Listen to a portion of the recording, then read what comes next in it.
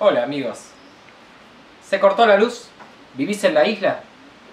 ¿Y tenés que pensar en economizar el agua del tanque porque no podés enchufar la bomba? Aquí va un consejito útil para los compañeros de la isla. La servilleta, total la vas a tirar. El plato, una inmundicia. ¿Tomas la servilleta? ¡Ya está! ¡Listo para la próxima comida!